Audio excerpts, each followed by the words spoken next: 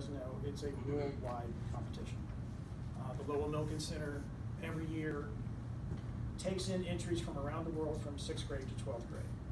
And this year, they selected uh, America Garcia's image as one of the finalists for Beasa's Hiawatha. Now, America already knows that she is a finalist for the competition. Um, what she doesn't know is that the results are already in. And on behalf of the Lowell Milken Center, I would like to present you with this check for $6,000. You are the grand prize winner. Come on up.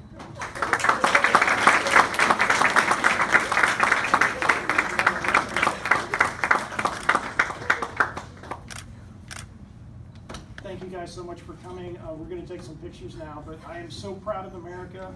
Um, I, I could I could go on for days about how amazing I think she is. She she she is such an excellent student.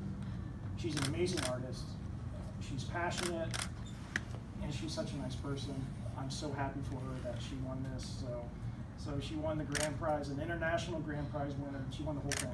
So congratulations, America.